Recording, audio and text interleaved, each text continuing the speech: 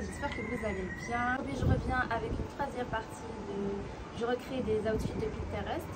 J'ai euh, récemment posté une vidéo de cette tenue là que je trouve magnifique. Et, euh, voilà, on va commencer par la première tenue.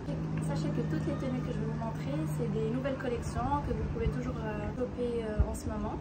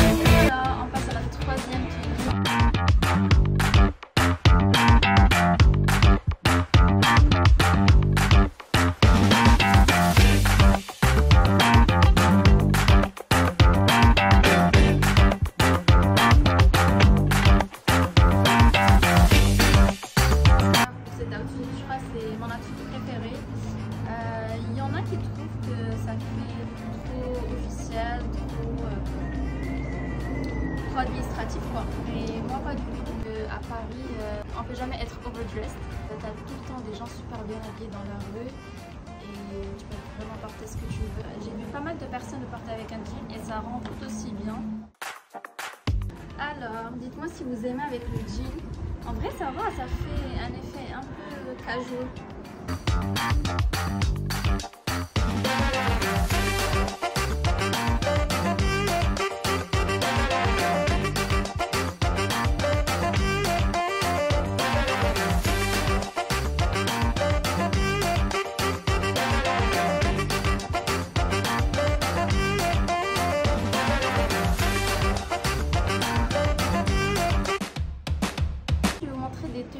Je porte pour aller travailler. C'est des outfits euh, très simples et surtout confortables. Donc ce que je mets souvent, c'est des débardeurs. Euh, j'en ai dans différents coloris. J'associe avec des pantalons que j'ai aussi dans plusieurs coloris.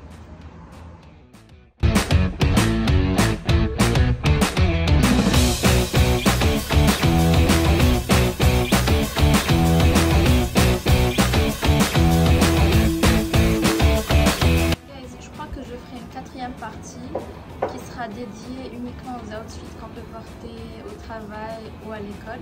Des outfits un peu plus, euh, euh, professionnels, on va dire. La quatrième ou cinquième tenue, je sais plus.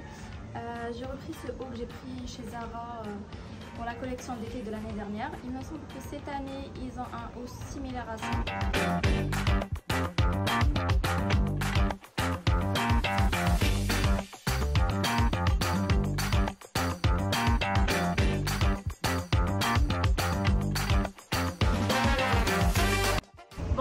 On arrive à la fin de la vidéo. N'hésitez pas à liker, à vous abonner et activer la cloche. Comme ça, vous recevez les notifications euh, quand je poste une nouvelle vidéo. Je vais vous montrer ce haut, mais j'ai plus la référence et je l'ai acheté il y a quelques années.